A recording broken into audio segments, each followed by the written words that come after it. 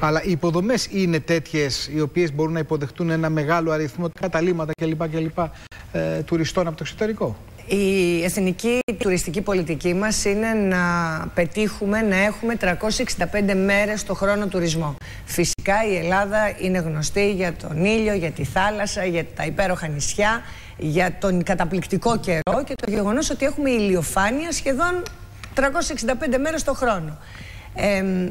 Είναι πολύ σημαντικό να τονίσω ότι για πρώτη φορά το 2016 πετύχαμε την επιμήκυνση. Η επιμήκυνση της περίοδου που ήταν κάτι το οποίο ποθούσαν όλοι όλα αυτά τα χρόνια για την καλύτερη φυσικά ε, ε, εξυπηρέτηση αν θέλετε των τουριστών γιατί όταν έρθουν 20 εκατομμύρια τουρίστες μέσα σε τρεις μήνες καταλαβαίνετε ότι είναι πάρα πολύ δύσκολο να τους εξυπηρετήσουμε. Ξεκινήσαμε λοιπόν το Μάρτιο, 15 Μαρτίου με πολύ σκληρές διαπραγματεύσεις για να έχουμε απευθεία συνδέσεις με αεροπορικές εταιρείες και τσάρτερ και κλείσαμε θα έλεγα τη θερινή σεζόν τέλος Νοεμβρίου. Αυτή η χειμερινή περίοδος που είναι Δεκέμβριος, Ιανουάριος, Φεβρουάριος και δεν είναι αποκλειστικά πάντα για σκι resort και για χιόνια το έχουμε χιόνια, πέρυσι θα σας θυμίσω δεν είχαμε και πρόπερση. Είναι μια περίοδος στην οποία θέλουμε ε, σε κοντινούς προορισμούς και σε παραδοσιακούς μας ε, προορισμούς όπως είναι η Ευρώπη να τονώσουμε και να ενισχύσουμε. Όχι μόνο στα κέντρα που μπορούν να πάνε για σκι αλλά όπως είναι παραδείγματος χάρη τα Τζουμέρκα, όπως είναι στη Βιτίνα. Α, άγραφα. Ο... Χθες μιλάγαμε με τον Δήμαρχο Αγράφων. Και τα άγραφα. Έτσι, και τα άγραφα. Ωραίο κρέας με ωραίο καιρό. Και όχι μόνο, και όχι μόνο. Τώρα που λέγατε για τη Θεσσαλία, για τη Φθιώτιδα, δηλαδή δεν είναι μόνο τα χιονοδρομικά μας, είναι οι ομορφιές που έχει η Ελλάδα που μπορεί να προσφέρουν άλλου είδους διακοπές, όπως είναι ο θρησκευτικός προσκυνηματικός τουρισμός, ακόμα και ο αθλητικός τουρισμός. Μην ξεχνάτε ε, ότι υπάρχουν ε, πάρα πολλές χώρες οι οποίες στέλνουν για αθλητικό προπονητικό τουρισμό και προετοιμασία σε άλλες χώρες. Έτσι λοιπόν έχουμε διευρύνει, αν θέλετε, το κομμάτι του θεματικού τουρισμού, γιατί αυτό είναι που θα στηρίξει τις περιφέρειες και τις τοπικές κοινωνίες. Και, για την επιμήκυση της ε, τουριστικής σεζόν και για το θεματικό τουρισμό έχουμε ακούσει πάρα πολλά όλα αυτά τα χρόνια και από προκατόχους σας. Ακούμε σήμερα και από εσά. Έχουμε και αυτά τα θετικά Όχι, δεν ακούτε από εμά. Για τον ε, ελληνικό τουρισμό. Και το ερώτημα που γεννάτε και ευλόγως γεννάτε ναι. είναι ότι έχει δημιουργηθεί μια βάση ώστε αυτό το οποίο φέτος είδαμε στους αριθμούς, στα στοιχεία να το δούμε του χρόνου ακόμα πιο ψηλά αυξημένο. Μπορεί να υπήρξε κάποια συγκυρία που να ευνόησε την άνοδο του τουρισμού στην Ελλάδα. Αυτό το πρώτο ερώτημα. Ναι, και λοιπόν, πρέπει να, δούμε... να σας απαντήσω στο πρώτο ερώτημα. Λέτε ακούσατε από εμάς. Ε, η σημερινή κυβέρνηση πέτυχε την επιμήκυνση της περίοδου. Αυτό που ποθούσαν όλες οι άλλες κυβερνήσεις. Δεν θα καθίσουμε να κάνουμε απολογισμό τι δεν έγινε τότε και έγινε τώρα. Αυτό που έγινε τώρα, από το 2015 που αναλάβαμε το Υπουργείο Τουρισμού, κάναμε μια εθνική στρατηγική, κλείσαμε συμφωνίες με συνδέσεις αεροπορικές. Σας το είπα, αυτό είναι πάρα πολύ σημαντικό. Γιατί και να θέλει να έρθει ο τουρίστας, αν δεν έχει την πρόσβαση, δεν μπορεί να έρθει. Άρα το πιο σημαντικό ήταν να εξασφαλίσουμε την πρόσβαση. Αυτό το κάναμε με όλες τις ε, αεροπορικές εταιρείες οι, οι οποίες πετάνε στην Ελλάδα και low cost και μεγάλες εταιρείες όπως είναι η British Airways και καταφέραμε όχι μόνο να ανοίξουμε νέους ελληνικούς προορισμούς που δεν ήταν δημοφιλείς γιατί ξέρετε πολύ καλά όλους τους δημοφιλείς προορισμούς όλα αυτά τα χρόνια όπως είναι η Μύκονος, η Σαντορίνη, η Κέρκυρα, η Ρόδος, η Κρήτη. Εμείς τι καταφέραμε να κάνουμε, καταφέραμε να Για ανοίξουμε... την Ικαρία, δεν λέτε και με στεναχωρείτε. Να, ανοίξαμε, ανοίξαμε και την Ικαρία το 2016. Να δούμε, να δούμε και το θέμα των Θα μου επιτρέψετε όμως να ναι, απαντήσω ναι, ναι, ναι. σε αυτό γιατί είναι πολύ σημαντικό. Πρέπει να χαιρόμαστε και να γιορτάζουμε για αυτές τις επιτυχίες. Η επιτυχία λοιπόν της επιμήκυνσης της περίοδου, η οποία δεν έγινε μόνο από εμάς, εμείς κάναμε σαν Υπουργείο τις σκληρές διαπραγματεύσεις, όμως ήταν έτοιμες και οι περιφέρειες σε συνεργασία για πρώτη φορά Υπουργείο με περιφέρειες να δεχτούν τους τουρίστες. Γιατί αν φέρω εγώ τουρίστες τον Μάρτιο και είναι όλα κλειστά, δεν υπάρχουν ξενοδοχεία, δεν υπάρχουν εστιατόρια, δεν υπάρχουν μαγαζιά. Καταλαβαίνετε ότι αυτό δεν πρόκειται να προχωρήσει. Άρα, σε συνεργασία με τις περιφέρειες, και γι' αυτό με βλέπετε και έχω ευχαριστήσει πάρα πολλές φορές αυτή την, α, τη συνέργεια και αυτή, αυτή, αν θέλετε, την α, κατακτήσαμε το να, έχουμε, να ενωθούμε όλοι μαζί και να πετύχουμε αυτό το αποτέλεσμα. Για πρώτη φορά, λοιπόν, το 2016, η επιμήκυνση της περίοδου είναι αποτέλεσμα. Τι αποτέλεσμα έφερε; Να έχουμε 100% πληρότητα σε Αθήνα και Θεσσαλονίκη Σεπτέμβριο, Οκτώβριο και Νοέμβριο. Μήνες που ήταν οι καλύτεροι μήνες όλων των εποχών. 85% πληρότητες στο σύνολο της Ελλάδος.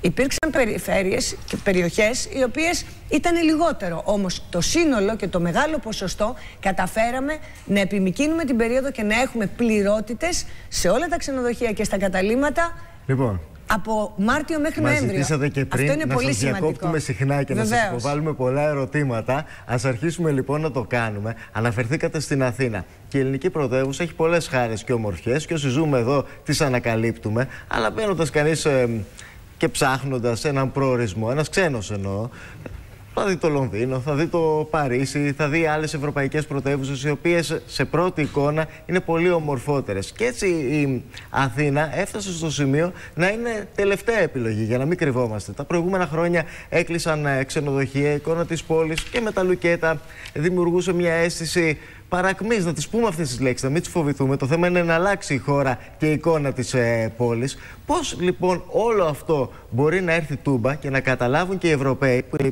πιο κοντινοί σε εμάς, ότι αυτή είναι μια ωραία πόλη, μια ζωντανή πόλη, μια ζωηρή πόλη που δεν μπορεί να λειτουργεί μόνο ως πέρασμα για να πάμε στο λιμάνι να βρούμε το ε, όμορφο νησί, αλλά μπορεί να λειτουργήσει και ως τόπος παραμονής για να τη ζήσεις. Η κυβέρνησή μας έδωσε προτεραιότητα στον ε, τουρισμό. Και μία από τις προτεραιότητες ήταν να ενισχύσουμε το City Break. Με τη Ρένα Τιδούρου έχουμε δουλέψει εξαιρετικά καλά για να ενισχύσουμε την Αττική και επίσης ο κύριος Καμίνης ο Δήμαρχος κάνει πολύ καλές προσπάθειες και συνέργειες και με το αεροδρόμιο Ελευθέριος Βενιζέλος αλλά και με την Aegean. Τι πετύχαμε λοιπόν και το 2015 να κάνουμε ρεκόρ αφήξεων στην Αττική ε, και το 16 ακόμα μεγαλύτερο. Η επιτυχία είναι δεδομένη. Μου μιλάτε για ε, προηγούμενες χρονιές που αν θέλετε ε, πάντα η, η Αττική για να, μη- για να είμαι δίκαιη είχε μια μικρή άνοδο απλά το 15 και το 16 η άνοδος για την Αττική και ιδιαίτερα για την Αθήνα ε, ξεπέρασε τις προσδοκίες μας. Αναφέρομαι στην Αθήνα, επειδή όταν κανείς σκέφτεται την Ελλάδα από το εξωτερικό, σκέφτεται τον ήλιο, τη θάλασσα, τα λέγατε και εσείς νωρίτερα. Πάει το μυαλό του κατευθείαν σε ένα νησί, πάει το μυαλό του στο Δεν καλοκαίρι. είναι πια έτσι, θα μου επιτρέπετε να σας πω, γιατί η προσπάθειά μας ακριβώς ήταν ε, 365 μέρες το χρόνο τουρισμού. Αυτή είναι η εθνική τουριστική πολιτική και πέτυχε. Είχε αντίκτυπο, είχε αν θέλετε ε, ε, ε, από όλη την Ευρώπη τις παραδοσιακές μας αγορές, αλλά και μη παραδοσιακές μας αγορές. Έχουν αυξηθεί ε, α, ο χειμερινός τουρισμός και ιδιαίτερα αυτή την περίοδο για την Αττική α, και από Αγγλία και από Ισραήλ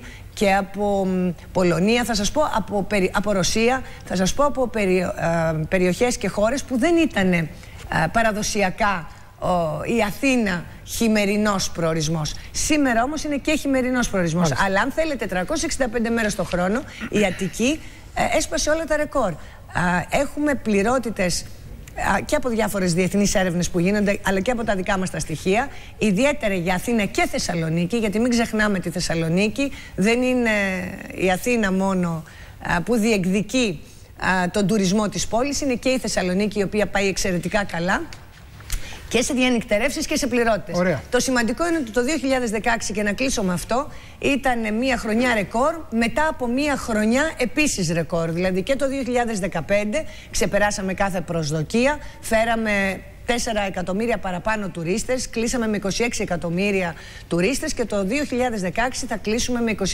εκατομμύρια τουρίστες και με μια πολύ μεγάλη άνοδο της ε, κρουαζιέρας. Αυτές οι επιτυχίες δεν είναι μόνο επιτυχίες του Υπουργείου, το τονίζω, δεν είναι επιτυχίες μόνο του ΕΟΤ που κάνει την προβολή και την πρόθεση, είναι μια επιτυχία συνολική γιατί ενωθήκαμε οι περιφέρειες, οι τοπικές ε, κοινωνίες, η τοπική αυτοδιοίκηση, τα επιμελητήρια, α, και ο ιδιωτικός φορέας και καταφέραμε να πετύχουμε αυτό το απίστευτο Νικό, αποτέλεσμα. Επειδή τα ξέρει ο Υπουργός, να δείξουμε λίγο χιονισμένο τοπίο σε πρώτο πλάνο Τώρα. και να μας πει γρήγορα Όπου. τους τρεις κοντινότερους προορισμούς στην Αθήνα για τους Αθηναίους που θέλουν να φύγουν τώρα δύο-τρεις μέρες, που έχει πάει η ίδια. Έχει γνωρίσει τους τόπους και θεωρεί ότι αξίζει τον κόπο να πάει κανείς. Για να κάνουμε και ένα τεστ λοιπόν ε, πόσο καλά γνωρίζουμε την Ελλάδα και πού μπορούμε να πάμε για να περάσουμε ωραία και όμορφα.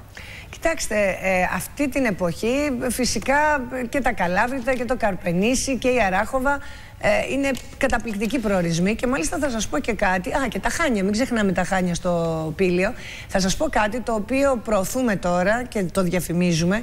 Η Ελλάδα έχει μια απίστευτη πρωτοτυπία. Στα Καλάβρητα, στην Αράχοβα και στα Χάνια έχεις τη δυνατότητα 20 λεπτά με το αυτοκίνητο να κάνεις σκι και να κατεβαίνεις κάτω να είσαι δίπλα στη θάλασσα. Όπως τα λέτε είναι. Είναι ακριβώς έτσι. Στην Αράχοβα, παραδείγματος χάρη, δεν πρέπει να ξεχνάμε το γαλαξίδι που είναι δίπλα, την Ιταία, τους Δελφούς που είναι ένα καταπληκτικό. Μπορείς, ε, το οποίο μπορείς να συνδυάσεις και τον πολιτιστικό σου τουρισμό, να κάνεις και το σκι και να κατέβεις στη θάλασσα να πιεις τον καφέ σου. Το ίδιο στα Καλάβρητα.